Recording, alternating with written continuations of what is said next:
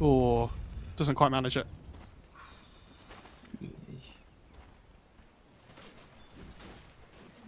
Yeah, it's going to be interesting to see as, as well. Oh, yeah, hang on, top. Oh my god. Oh. Yeah, they're gonna Oh, get. Oh, no tail! An earlier earn could be really useful. Whatever he decides to go for. And this top lane, like, it, it's fine for mid one and no-tail early on in the first few waves, but when Venom starts to go a few more levels, you know, the lane starts to get a, a lot more difficult.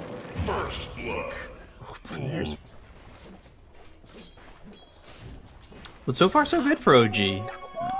Not, not that things are going horribly right now for Viking. No. As they look over, No Tail Spectral Dagger comes in. The Tombstone committed. Now No Tail low. He'll end up falling. Aramis gets the kill there. Sunstrike onto Aramis. Not gonna land. However, they'll still get this kill. Saksa, he gets credit for the kill on Aramis, and it's a one for one trade Oh, so far. oh, he didn't- But mid one taking a lot of damage, as is Saksa, and that'll force mid one to TP back home. As Seb now bottom dies to Solari, so they get two kills here for Viking, two big kills there for him, even back on this game. Yeah, I thought Toby up in top lane would try and actually ward block the line in the trees, but... Oh no, it's Korea! Like, he did TP back to base on used. mid one, and then, yeah. They're gonna go for Toby.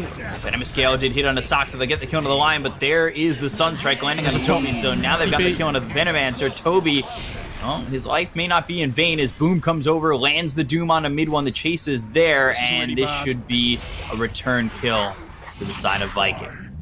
Yeah, he has no TP for like 12 seconds when he's up as well, and he has no haunt, so he's gonna have to sit in base for a few more seconds as well.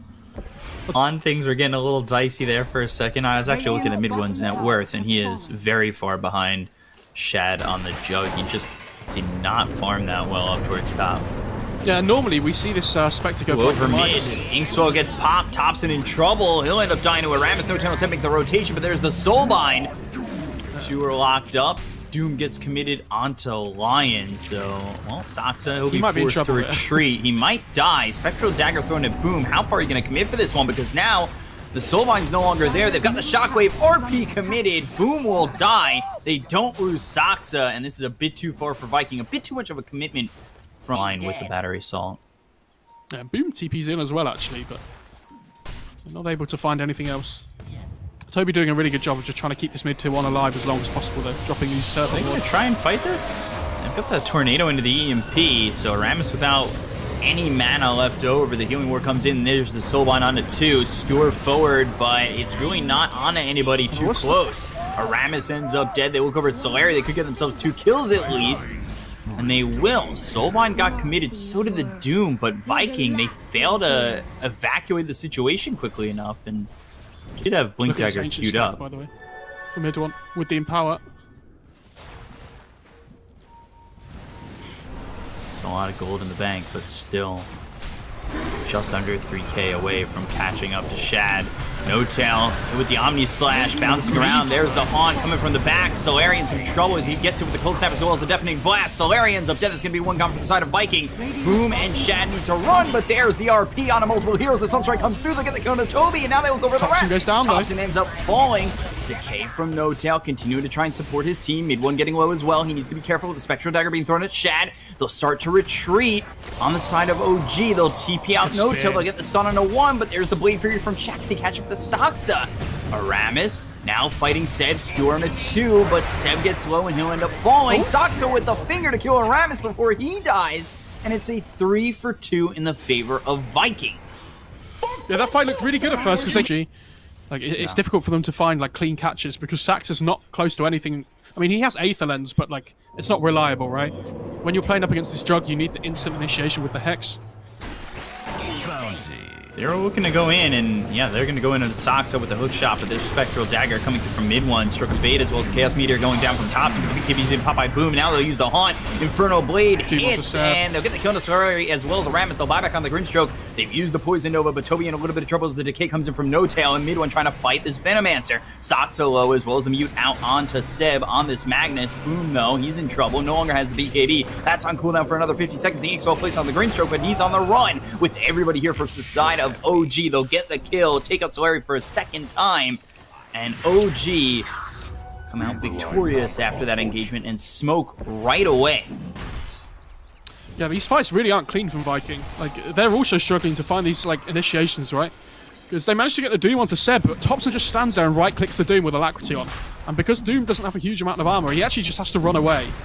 So, like, even though Seb's completely taken out the fight, they really struggle to find any pickoffs. Ooh, RP comes through. There's the Cataclysm. But with the Skewer, it's going to miss. They've got themselves the Omni Slash as well as the hookshot coming through, but it's not going to be enough just yet. They'll take out No Tail. No Tail buys back immediately. They'll get the kill on the boom. So now without that Doom, they're in a little bit of trouble. He's gone for 52 seconds. Shad, he's already used that Omni Slash. So how much is he really worth in this engagement? But with mid one as well as Sab below, they're going to be forced to TP back. And now it might be an opportunity for Viking to finish off this Rosh. No Tail and Sox is still sitting here. It may not be that easy. Topson's yeah. also come over. Oh, oh, No Tail gets bashed up by Rosh. I mean, they, they understand that they, they can kind of like fake this out though. So now the tombstone's gone down and they're not really achieving anything from this on OG. It's, it's actually not bad for Viking. They need to wait for this Doom to be back up again. Like he's their big, um, like team fighter at the moment. It feels like. Topson's getting a little bit low on mana here as well. Need one. Moving forward, has that Manta. Trying to go after Toby. There's the meteor drop down, and Toby just gets blown up. But like, what's this soulbind, right? Like, there's no Doom up, but they, they had no play. You just have to let the Veno die, and now you don't have soulbind up for your... Oh, Gee, it's not exactly the easiest uh, to just grab this Rosh. They need to position themselves around the pit to make sure this second. hook shot. And Rocket Flare comes in but the Aegis picked up by mid one. They look over Shad. Shad's in a lot of trouble. The Skewer is out, but there's the Blade Fury. He won't survive. He has gone for 53 seconds. No buyback. And Seb continuing to move forward with the rest of OG as they march towards the Viking side. They'll try to TP Aramis out, but he stops the TP. Poison Nova committed. Sunstrike won't hit. The skewer is there from Seb. They'll get the kill into Toby and look over at the Clockwork to try and finish off a third hook shot on a Seb, but it won't matter. They've got the finger and mid one there for a double kill. OG grabbed the Aegis and kind of grounded them in this game. It's allowed mid one to really get back into it, that's for sure. Oh, they find Topson though. This will be a massive kill if they can get it. Yeah, they've got the Doom out on them. Battery Assault as well as the Cog, so try to run, but the Infernal Blade is there. They'll get the kill into this Invoker. Five times free going the way of Boom. Oh, they missed even though. some more. Tombstone down, Soulbind's there. Boom. Doesn't have Doom. He's already used it onto the Invoker. They're going to continue with the Inkswell. That's a two-man stun. No tail in trouble. As is said, the BKB's been committed by Boom. They've got themselves the Guardian Greaves being popped by Seven. So Spectral Dagger flies in from mid one. He'll try to help out. No tail's gone. Neither of those heroes have a buyback on the side of OG. Mid one, he wants to fight, but I'm not sure this is the fight ages. that he wants to take does have the Aegis. The RP's committed on a three. Seb, can he turn this around inside oh, of OG? I just don't think they have the damage. They look over at Solaire. They get themselves the kill on the Grimstroke. That's at least one, but they end up losing the Magnus. Poison Nova committed. Mid one now needs to run. The Spirit Vessel's on him. Aramis and Toby are chasing. Venomous Kill getting thrown out. They've got themselves Shad, and that's the first life gone from this Spectre. But nobody is here to help him. The rest of the team is gone. Mid one now, haunting, trying to jaunt them out and trying to be slippery, oh. moving around as much as he can. Can he at least get a kill on the no? Yes, he can. And now Topson's back. So Topson gets into the fight. There's the tornado as well as the EMP. Out of Toby. He's in some trouble. The Sunstrike comes in. It's a little bit too far, but Toby will still die. Somehow, Mid one survives with a second life, and they've taken out two. OG start to turn this Spectral Dagger thrown at Shad, so he needs to try and get out of this, but to Topson's right here. Oh, they and yes, Viking played the fight really well, but it's going to get more and more difficult now as the game goes on. Oh, yeah. They, they smoke up. They got to try and make Radiant's something happen.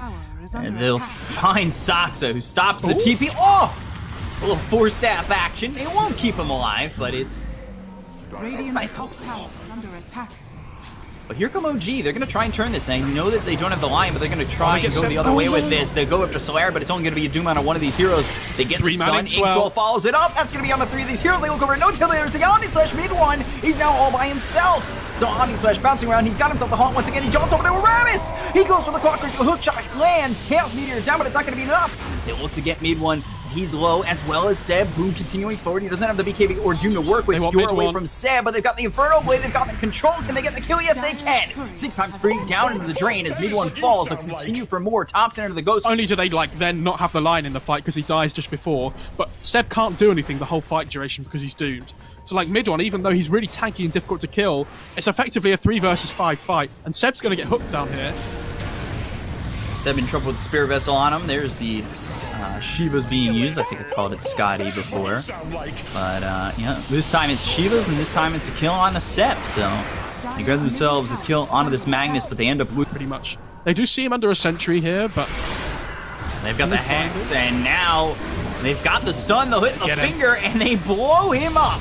So, Haunt moving forward, Soulbind on a two. They're going to buy back on Boom, but the Soulbind's already been used, so they've got the hookshot coming from around as well as the Cogs. Abyssal Blade on both these heroes! There's the Infernal Blade. The Doom comes in. They look over tops, and they've got the Blade Fury right on, but there is Seb with the RP! Can they get the kill on either Shatter Boom? Boom for the second time. He pops that BKB. He looks over at mid one. He's using that Infernal Blade. They get the kill on Aramis, but they lose Topson. Topson did for mid seconds. Really He's got buyback. Mid one low, running away from Boom, but they got the Hex coming in from so that might save him. As well as the stun. Boom looking, but he can't him. Oh Just my god, they get out. out. Seb ends up dead, but if that was Seb and mid one going. BKB duration, but. Maybe he feels like the dispersion talent's not worth it because it's going to be taken off him a lot of the time anyway. Hook shot. Hook shot comes through. That hits on a set, but they've got the hex from Saksa. Skewer back onto the Doom. Doom's in trouble. RP comes through as well the BKB. They've got themselves the Cataclysm. The Cataclysm hits on Aramis as well as Boom. They're going to lose the first life onto the Doom. Now they look over at Shad moving in. But the Haunt so away from position. mid one. And now where is Boom? He's away from his team. His team is nowhere close to help him.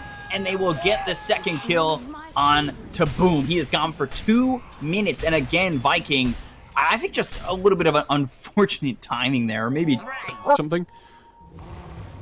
Like, so they're just holding the high ground and holding the vision control here. Spectral Dagger thrown out. Otis Orb on a mid one. Boom backs off for just a second, but no tail coming over. The Venom Scales thrown in. There's the Blink as well as the War Stomp coming in on to this Undying. No tail pops oh, immediately. But they've got themselves the Sun as well as the Cataclysm coming through. And there's the Finger Boom in trouble, pops the BKB, surviving for now. The hookshot misses. Omni Slash bouncing around. They get the kill on Boom, as well as Toby. They don't have buyback. Omni Slash will run out. And now this is Shad in trouble. There's the start coming in from Saksa, who's on the high ground. They look over at this junk. They look over at the Clockwork. They'll try to chase him down. The Blade Fury as well as the TP. No tornado. Oh, what a tornado. They'll get the kill on a Shad. They'll take out Aramis and Solari. Everybody goes down on Viking and OG may have just secured the game because they sure as hell just jumped up for so long, but 41 minutes in, it seems like they've broken the bank here for OG. Yeah, and they can just... Oh, hang on, hook shot. Hook shot, Dust, Cogs, Abyssal Blade, and Saksa low Force Staff away, and even with the Spirit Vessel, they just can't get the kill. The BKB's been popped by mid one. They'll use the Doom out onto the Invoker. They'll get the kill onto Soxus, so they'll take out one, but there's the Haunt jumping back towards Shad. Shad in trouble, trying to run. Aramis is dead. Mid one can't get the kill onto Shad, but he looks over at Toby instead and will clean the life of the Venomancer there for him. No Tail's gone for 94 seconds. They look over it. Boom. They'll pull him in. They'll get the kill. They'll take him out. It's a double kill for mid one. The Blade Fury right on him. There's the Cataclysm coming through. Shad, you're gone. You're dead. And so are the chances of Viking taking this game. OG will take game one. Um, Man. OG. This was such a sick game, though. Like, I, I feel really bad for Viking because there was like they did so well for most of this game, and then they made two huge mistakes. Right? Like, one of them wasn't even their fault necessarily. Like the Doom, blinks in when he has the um, Aegis onto like the already skewering mag, which is really sad. And then two, yeah. they like make that one really bad smoke play where there's a ward in their base that they don't deward.